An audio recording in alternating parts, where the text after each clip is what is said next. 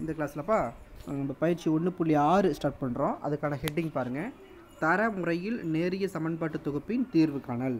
தரமுறையில் நேரிய சமன்பாட்டு தொகுப்பின் தீர்வு காணல் அப்படிங்கிறத பார்க்க போகிறோம் அதுக்கு எடுத்துக்காட்டு இருபத்தி ஒம்பது தான் ஃபஸ்ட்டு நம்ம போன எக்ஸசைஸ் ஒன் பாயிண்ட் ஃபைவ்ல போட்ட அதே சேம் மெத்தடில் தான் வரும் காசு முறையில் தான் வரும். எப்படின்னு பாருங்கள் தரமுறை எப்படி போகிறதுன்னு பாருங்கள் நம்மளுக்கு பின்வரும் நேரிய சமன்பாடு தொகுப்பு வந்து ஒருங்கமை உடையதா என ஆராய்க அப்படி கொடுத்துருக்காங்க. இந்த மாடல்லையும் கேட்கலாம். தரமுறையை வந்து நம்ம இந்த மெத்தட்லேயும் கொஷின் கேட்கலாம். ஓகே நான்கு சமன்பாடு கொடுத்துருக்கா? ஒன் டூ த்ரீ ஃபோர் நான்கு சமன்பாட்டை பயன்படுத்தி முதல்ல கேபிட்டல் ஏங்கிற ஒரு அணி எழுதலாம். கேபிட்டல் ஏங்கிறது என்னென்னா எக்ஸ்ஒய்ஸோட கெழுக்கள். இதில் வர எக்ஸ்ஒய்ஸோட கெழு ஒன்று ரெண்டு மைனஸ் ஒன்று இது ஆறு ஒன்றா எழுதிக்கணும். இதில் வர எக்ஸ்ஒய்ஸோட கெழுக்கள் த்ரீ மைனஸ் ஒன் டூ இது ஆர் டூ எழுதிக்கணும். இதில் வர எக்ஸ்ஒய்ஸோட கெழு ஒன் மைனஸ் டூ த்ரீங்கிறது ஆர் த்ரீயாகவும் இதில் வர எக்ஸ்ஒய்ஸோட கீழே வந்து ஆர் ஃபோராக எழுதிக்கிறோம் capital எக்ஸுங்கிறது small x y z capital பிங்கிறது ஈக்குவல்ட்டுக்கு அப்புறம் ஒன் மூணு ஒன்று மூணு. இதில் மாறி உறுப்பு இந்த சைடு கொண்டாந்துடணும் மைனஸ் ஒன்று அப்போ ax equal to Pia A X equal to B எழுதிட்டு இது அது இந்த வடிவத்துக்கு பேர் தான் அணி வடிவம். எழுதிட்டு இதில் ஏ பார் பி அதாவது விரிவுபடுத்தப்பட்ட அணி எழுதணும். அப்படியே இந்த ஏவையும் இந்த பியையும் சேர்த்து எழுதுகிறோம் நடுவில் இந்த பார் போட்டுருவோம் ஏ பார் பி ஓகே எழுதியாச்சா? இப்போ நம்மளுக்கு ஏ பார் பி போட்டதுக்கப்புறம் ஆர் ஒனில் முதல் உறுப்பு ஒன்று இருக்கா? இப்போ ஆர் டூவில் முதல் உறுப்பு இங்கே ஜீரோ வேணும்னா என்ன பண்ணணும்? ஆர் ஒன்னை மூணால் பெருக்கிட்டு இதை ஃபுல்லாக மூணால் பெருக்கிட்டு ஆர் டூலேருந்து மைனஸ் பண்ணி எழுதணும். அப்போ R two gives R two minus three R ஒன்னா அப்படி எழுதும்போது நம்மளுக்கு zero minus seven five minus எயிட்னு வருது. ஆர் த்ரீக்கு வந்து R three minus R one போட்டால் போதும். ஆர் ஃபோருக்கு R four minus R one போட்டால் போதும். அது நம்மளுக்கு ஜீரோ ஜீரோ கிடச்சிடும் ஓகேவா சரி இதுக்கப்புறம் என்ன பண்ண போகிறோம் அப்படின்னா ஆர் ஒனில் ஃபஸ்ட்டு ஒன் வந்துருச்சு ஆர் டூவில் ஃபஸ்ட்டு ஜீரோ வந்துருச்சா? ஆர் த்ரீயில் ரெண்டு உறுப்பு ஜீரோ வேணும். அதாவது இந்த உறுப்பு இந்த மைனஸ் ஃபோர் இருக்குது பார்த்தியா இந்த இடத்த நம்ம ஜீரோ பண்ணுறதுக்காக என்ன பண்ணுறோம் அப்படின்னா இந்த இதை ரெண்டையும் கம்பேர் பண்ணுறோம் இந்த மைனஸ் இந்த ஃபோர் எடுத்து ஆர் த்ரீயில் இருக்கக்கூடிய ஃபோர் எடுத்து ஆர் டூலையும் ஆர் டூவில் இருக்கக்கூடிய செவன் எடுத்து ஆர் த்ரீலையும் பெருக்கிக்கிறோம். பெருக்கிட்டு ரெண்டையும் மைனஸ் பண்ணால் போதும். அப்போ இங்கே எழுதிருக்கும் பாருங்க seven R three R three give seven R three minus four R two R ஒன்று ஆர் டூ அப்படியே தான் இருக்கும். ஆர் ஒன்றும் ஆர் டூ அப்படியே தான் இருக்குது. ஆர் த்ரீ எழுதுறதுக்காக தான் இந்த ஒர்க்கை செய்கிறோம் அது சைடில் இங்கே போட்டு காமிச்சிருக்கோம். இது வந்து ஆர் த்ரீயை வந்து செவனால் மல்டிப்ளை பண்ணது. இது ஆர் டூவை ஃபோரால் மல்டிப்ளை பண்ணது பெருக்கினது. இதை கழிச்சு போட்டதுக்கு இங்கே போட்டிருக்கோம். Zero zero eight thirty two அதை இங்கே எழுதிக்கலாம்.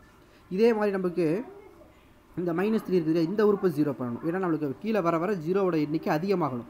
இதில் ஒரு ஜீரோனா இதில் ரெண்டு ஜீரோனா இதில் மூணு ஜீரோ மூணு ஜீரோ ஒன்றா பண்ண முடியாது. அடுத்து இந்த ஜீரோ எப்படி வருதுன்னு பார்த்துட்டு அதுக்கப்புறம் தான் அதுக்கு அடுத்து ஜீரோ கொண்டு வர முடியும். சரி இப்போ நம்ம அதுக்காக என்ன பண்ண போகிறோம் அப்படின்னா இதை ரெண்டையும் கம்பேர் பண்ணுறோம் ஆர் ஃபோரையும் ஆர் டூ அதையே இதே மாதிரி. இந்த செவன் எடுத்து இந்த லைன் ஃபுல்லாக இந்த த்ரீ எடுத்து இந்த லைன் ஃபுல்லாக அதை இங்கே எழுதியிருக்கோம். அதாவது ஆர் ஃபோரை செவனாலையும் ஆர் த்ரீயை ஆர் டூவை த்ரீயாலையும் பெருக்கிட்டு அதே ஆர் டூவில் எடுத்துக்கிட்டோம். இது ஆர் டூ த்ரீயால் எடுத்துக்கிட்டு நம்ம கழிச்சிருக்கோம். கழிச்சுனா ஜீரோ ஜீரோ ஒன் ஃபோர்னு கிடச்சிருக்கா? அதை சைடில் போட்டு காமிச்சிருக்கு. அதை இங்கே எழுதியாச்சு. இப்போ அடுத்தது நம்ம என்ன பண்ண போகிறோம்னா இந்த எட்டு முப்பத்தி ரெண்டு இது ரெண்டுமே வந்து பார்த்தீங்கன்னா நம்மளுக்கு எட்டால் வகுக்கிற மாதிரி இருக்கனால R three goes R three by எயிட்னு போட்டால் சிம்பிளி பண்ணால் கொஞ்சம் ஈஸியாக இருக்கும் அப்படின்றதுக்காக போட்டாச்சு. பட் மீதி R one R two R ஃபோர்லாம் அப்படியே தான் இருக்கும். அதுக்கு அடுத்த ஸ்டெப்பில் நம்ம என்ன பண்ணியிருக்கோம்னா நம்மளுக்கு இதில் ஒரு ஜீரோ எக்ஸ்ட்ரா வரணும் இல்லையா? ஆர் டூவில் ஒரு ஜீரோ இருக்குது ஆர் த்ரீயில் ரெண்டு ஜீரோ இருக்குன்னா அடுத்ததில் மூணு ஜீரோ வேணும் இல்லையா? அதுக்காக R three four goes R four minus R three போடுறோம். R four R four minus R three இப்போ நம்மளுக்கு ஜீரோ வந்துருச்சா? அடுத்தது என்ன பண்ண போகிறோம் இது நம்மளுக்கு தேவையில்லை. ஓகே அடுத்தது இப்போ நம்மளுக்கு ஏறு இப்படி நம்மளுக்கு அப்படி பண்ணும்போது நம்ம இந்த தான் ஜீரோ பண்ண பார்த்தா லாஸ்ட் உறுப்பு ஆட்டோமேட்டிக்காக ஜீரோ ஆயிடுச்சு அதனால் ஒன்றும் பிரச்சனை இல்லை. இப்போ rank of A bar B டோட்டலாக ரேங்க் எஃப் எத்தனைனா பூஜ்ஜியமற்ற நிறைகளின் எண்ணிக்கை மூன்று. ஓகேவா ஆர் ரேங்க் ஆஃப் ஏ மட்டும் பார்க்குறோம். ஏன்னா இதை மறைச்சிட்டு பார்க்குறோம். இந்த லைனை மறைச்சிட்டு பார்க்கணும். வரைச்சிட்டு பார்த்தாலும் பூஜ்ஜியமற்ற நிறைகளின் எண்ணிக்கை மூன்று. ஏன்னா இதில் ஒன்று வந்துருச்சு அதை ஒரு நம்பர் இருந்தாலும் அதை நம்ம விடக்கூடாது. எல்லாமே ஜீரோ ஆனால் அதை விட்டுட்டு பார்க்கணும். இதை மட்டும் தான் விட முடியும். இப்போ பூஜ்ஜியமற்ற நிறைகள் எண்ணிக்கை மூணு. ரெண்டுமே மூணு முன்னு வந்ததுன்னா இப்போ நம்ம இது வரைக்கும் நம்ம ஏற்கனவே போட்டிருப்போம். இந்த ஸ்டெப் வரைக்கும் ஏற்கனவே நம்ம காஷ்மீரில் போட்டிருப்போம். அதுக்கப்புறம் நேராக சமன்பாடை எழுதி போட்டிருப்போம். இங்கே தரமுறையில் எவ்வளோ தீர்வுன்னு சொல்ல போகிறோம் பாருங்கள் ரெண்டுமே த்ரீ த்ரீ ஈக்குவலாக வந்துச்சுன்னா இதுக்கு ஒரே ஒரு தீர்வு தான் இருக்கும். ரெண்டுமே ஈக்குவல் டு த்ரீயாக இருந்ததுன்னா நம்மளுக்கு ஒரே ஒரு தீர்வு. அதில் எழுதியிருக்கு அதில் எழுதலை. இங்கே எழுதி பழகிக்கிங்க. தொகுப்பு ஒருங்கமை உடையது ஒரே ஒரு தீர்வு உண்டு. ரெண்டுமே த்ரீ த்ரீன்னு வந்தால் ரெண்டு சமமாக இருந்தால் ஒருங்கமை உடையதுன்னு எழுதிடலாம். ரெண்டு சமமாக இருக்கா? சமமாக இருக்குது. அப்போ அது மூணுன்னு வந்ததுன்னா ஒரே ஒரு தீர்வு. ரெண்டு ரெண்டு ரெண்டுமே சமமாக வந்து ரெண்டு ரெண்டு வந்தால் எண்ணற்ற தீர்வு ஒன்று ஒன்று வந்தாலும் எண்ணற்ற தீர்வு. மாறி வந்தால் தீர்வு கிடையாது. இந்த ரூல்ஸ் தான் நம்ம பார்க்க போகிறோம் இப்போ. அதாவது ரெண்டுமே மூணு மூணு வந்துச்சு அப்போ ஒரே ஒரு தீர்வு. முதல்ல சமன்பாடு அமைக்கலாம். இதிலிருந்து சமன்பாடு அமைச்சா X plus two Y minus Z equal to three அடுத்தது எழுதும்போது seven Y minus five Z equal to eight அடுத்தது எழுதும்போது Z equal to four Z equal to four இது மூணு சமன்பாடு இருக்கா? இந்த வேல்யூ இதில் போட்டால் ஒய் கிடச்சிரும். இந்த வேல்யூ இதில் சப்ஸ்டியூட் பண்ணால் எக்ஸ் கிடச்சிரும். அப்போ ஒய்க்கு ஃபோர் எக்ஸுக்கு மைனஸ் ஒன்று கிடச்சிருச்சு. அப்போ X equal to minus one தீர்வு எடுத்து எழுதிட்டோம். Y equal to four Z equal to four இந்த வேல்யூஸை நம்ம கிவன் சொல்யூஷன் um, அதாவது கிவன் ஈக்குவேஷனில் சப்ஸ்டியூட் பண்ணி அதாவது கொடுத்துருக்க சமன்பாட்டில் பிரதிக்கிட்டு நம்ம ஆன்சர் கரெக்டாக இருக்கான்னு நம்ம செக் பண்ணிக்கலாம். ஒன் ஃபோர் ஃபோர் தானே கிடச்சிருக்கு நம்மளுக்கு answer minus one four four அதாவது இந்த சமன்பாட்டில் போடுங்க. இப்போ ஃபார் எக்ஸாம்பிள் இந்த முதல் சமன்பாட்டில் போட்டோம்னா மைனஸ் ஒன்னா ஒய்க்கு ஃபோர்னு போடும்போது எட்டுன்னு வந்துருமா? இசட்டுக்கு ஃபோர் போடும்போது மைனஸ் ஃபோராக இது சுருக்குனா எவ்வளோ வருதுன்னு பாருங்கள் மொத்தம் நம்மளுக்கு இந்த மூணு வரணும். வருதான்னு பாருங்கள் எட்டு எட்டில் நாலு போனால் நாலு நாலில் ஒன்று கிடைச்சா மூணு. கரெக்டாக வருதா? இந்த மாதிரி நம்ம சமன்பாட்டில் பிரதிட்டு நம்ம செக் பண்ணிக்கலாம். நாலு சமன்பாட்டில் எதில் வேணாலும் பிரதியிடலாம்.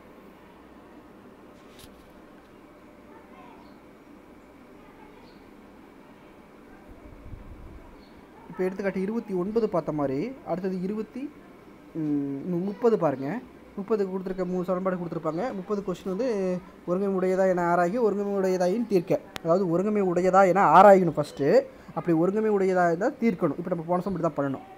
இல்லை ஒருங்கமை உடையதாக என்ன ஆராய்கன்னு சொன்னாலும் நம்ம தீர்த்து தீர்வு. இப்போ லாஸ்ட் சம்மில் ஆராய்கன் மட்டும் தான் கொடுத்துருந்தாங்க. நம்ம தீர்வு கண்டுபிடிச்சிட்டோம்.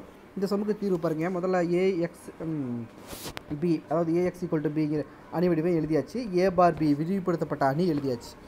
விரிவுபடுத்தப்பட்ட அணி எப்படின்னா ஏவையும் பியும் சேர்த்து எழுதணும்னு சொல்லியிருக்கோம். எழுதியாச்சு. இப்போ நம்மளுக்கு ஆர் டூவில் வந்து ஃபஸ்ட்டு ஒன் வருது பார்த்தியா அப்போ ஆர் ஒன்னையும் ஆர் டூவையும் முதல்ல இடத்த மாற்றிக்கலாம் R one interchange R two மீதி ஆர் த்ரீ அப்படியே தான் இருக்கும். இதில் நாலு லைன் கிடையாது மூணு லைன் தான். அடுத்தது இந்த ஃபோர் வர இடத்துல ஜீரோ வேணுங்கிறனால ஆர் ஒன்னை ஃபோரால் இன்ட்டு பண்ணி R two gives R two minus four R one போனால் நம்மளுக்கு இந்த ஆன்சர் கிடைக்கும். அதே மாதிரி ஆர் த்ரீயில் வந்து நம்மளுக்கு ஃபிஃப்டின் இருக்கு இல்லையா? அப்போ ஆர் ஒன்னை ஃபிஃப்டினால் மல்டிபிள் போகணும் அப்போ R three gives R three minus fifteen R two minus fifteen sorry R one minus fifteen R one போட்டால் நமக்கு இந்த ஆன்சர் கிடச்சிருச்சு. ஓகே. இப்போ அடுத்தது நம்மளுக்கு ஒன் இங்கேருந்து ஒரு ஜீரோ வந்துருச்சு. இங்கே ரெண்டு ஜீரோ வேணும். இந்த மைனஸ் பதினெட்டு மட்டும் ஜீரோ வேணும். அப்படிங்கிறனால என்ன பண்ணுறோம் அப்படின்னா இந்த மைனஸ் ஆற மூணு அளவு இருக்குன்னா பதினெட்டு வந்துடும் இல்லையா? அப்போ இதிலேருந்து இதை மைனஸ் பண்ணிக்கலாம் இல்லையா? அதனால் ஆர் த்ரீ ஆர் டூவை மூணால் பெருக்கிறோம். அப்போ R three கியூஸ் R three minus three R two மூணால் பெருக்கிட்டு மைனஸ் பண்ணுறோம் அதை குறிய மாற்றி கூட்டுறதுக்கு பேர் தான் மைனஸ் இப்போ இதை மூணால் பெருக்கினா மைனஸ் பதினெட்டு வரும். குறிய மதத்தில் ப்ளஸ் பதினெட்டு கழித்தலுக்கு பேர் குறிய மதத்தில் அப்போ மைனஸ் பதினெட்டு ப்ளஸ் பதினெட்டு ஜீரோ ஆயிரும் அதே மாதிரி இந்த ஒர்க்கும் பார்க்கணும் இந்த ஒர்க்கும் பார்க்கணும். ஓகே நம்மளுக்கு எல்லாமே ஜீரோ ஆயிடுச்சு அப்படியும் போடலாம். இல்லை இன்னொரு ஸ்டெப்பு இதை ஃபுல்லாக ஆறால் வகுத்துட்டு இதை ஃபுல்லாக ஆறால் வகுத்துட்டு இப்போ பதினெட்டால் வகுத்துட்டு வகுத்துட்டா நமக்கு ரெண்டும் சேமாக இருக்கும். ஒன்றுலேருந்து இன்னொன்று மைனஸ் பண்ணி போட்டுக்கலாம். அப்படி போட்டால் ஸ்டெப்ஸ் கொஞ்சம் அதிகமாகும். எப்படி வேணால் போட்டுக்கலாம். ஓகே எப்படி இருந்தாலும் நம்மளுக்கு லாஸ்ட் லைன் ஃபுல்லாக ஜீரோ ஆகும். அப்போ ரேங்க் ஆஃப் ஏ பார் பினா இதை மறைச்சிட்டு பார்க்கணும். இதை மறைச்சிட்டு பார்த்து சாரி ஏ பார் பினா ஃபுல்லாக பார்க்கணும். ஃபுல்லாக பார்க்கும்போது பூஜ்ஜியமற்ற நிறைகளின் எண்ணிக்கை ஒன்று ரெண்டு. இந்த லைனை மட்டும் விட்டுறலாம். லேக் ஆஃப் ஏனா இதை மட்டும் பார்க்கணும். அப்பயும் ஒன்று ரெண்டு. பூஜ்ஜியமற்ற நிறைகளின் எண்ணிக்கை ரெண்டு வருதா. அப்போ ரெண்டுமே ஈக்குவலாக இருக்கனால ரெண்டு. ஆனால் மூன்றை விட குறைவு அப்படின்னால எண்ணற்ற தீர்வுகள் உண்டு. ஒருங்கமை உடையது. ஆனால் எத்தனை தீர்வு? எண்ணற்ற தீர்வு உண்டு. மூணு மூணு வந்துருதுன்னா ஒரு தீர்வு. ஒரே ஒரு தீர்வு. இதுக்கு எண்ணற்ற தீர்வு உண்டு. சரி இந்த எண்ணற்ற தீர்வு எப்படி கண்டுபிடிக்கிறது? அப்படின்னா மூணில் ஏதாவது ஒன்றுக்கு நம்ம பேர் கொடுக்கணும் பாருங்கள் இதில் இருந்து ரெண்டு சமன்பாடு கிடைக்கும் நம்மளுக்கு. ரெண்டு சமன்பாடு x plus y plus y minus three z equal to minus one minus six y plus eighteen z ஏன்னா எக்ஸ் தான் இதில் ஜீரோ ஆயிடுச்சு ஈக்குவல் டு டுவெல் அந்த மாதிரி ரெண்டு சமன்பாடு கிடைக்குதா? அப்போ மூணாவது இசட்டுக்கு வந்து நம்ம என்ன வச்சுட்டோம் எதுவும் எக்ஸ் ஒய் இசட்டில் எதுக்கு வேணால் நம்ம பேர் தரலாம். நம்ம இசட்டுக்கு மட்டும் இது எக்ஸ் இது எக்ஸ் ஒய் இருக்கிற மாதிரி லிஸ்ட்டு இது இசட்டுக்கு மட்டும் டீன்னு கொடுத்துட்டோம். இசட்டுக்கு டீங்கிறது இதில் போட்டோம்னா என்ன வரும் நம்மளுக்கு? ரெண்டாவது சமன்பாட்டில்? Minus six y plus eighteen t equal to டுவெல்லா இது ஆறால் வகுத்துட்டா minus y plus three t equal to two அடுத்தது நம்ம என்ன பண்ண போகிறோம்னா இந்த மைனஸ் ஒய் இங்கே வந்தால் ப்ளஸ் ஒய்யா இந்த டூ இங்கே வந்தால் மைனஸ் டூ அப்போ y equal to three t minus two y is equal to three t minus two இதை வந்து நம்ம என்ன பண்ண போகிறோம் இந்த ஒய் மதிப்பு ஒன்றில் பிரதியிடுறோம். இந்த இது நம்மளுக்கு இந்த ஆன்சர் இந்த இடத்துல டி வரலாம். நம்ம எடுத்துகிட்ட இதோட மதிப்பு தான் டி அது ஒரு மாறிலி தான். சரி அடுத்தது இதை வந்து நம்ம என்ன பண்ணுறோம் ஒன்றில் பிரதிடுறோம் ஒன்றில் பிரதிடும் போது எக்ஸுக்கு எக்ஸ்னே இருக்கும். ஒய்க்கு பதிலாக three t minus two minus three into t equal to minus ஒன்னா இதில் இது ரெண்டு கேன்சல் ஆச்சுன்னா இந்த மைனஸ் டூக்கு வந்தால் ப்ளஸ் டூ அப்போ எக்ஸ் ஈக்குவல் டு ஒன்றுன்னு வரும். அப்போ எக்ஸோட வேல்யூ அதை தீர்வு எடுத்துக்க முடியும். X comma y comma z equal to எக்ஸோட வேல்யூ ஒன் ஒய்யோட value three t minus two இசட்டோட value t நம்ம டி பிலாங்ஸ் டு ஆர் ஆருங்கிறது ஏதோ ஒரு ரியல் நம்பர் நம்ம போடலாம். எந்த ரியல் நம்பர் வேணாலும் போடலாம். அதுக்காக தான் டி பிலாங்ஸ் டு ஆர்னு போடுக்கிறோம் ஓகே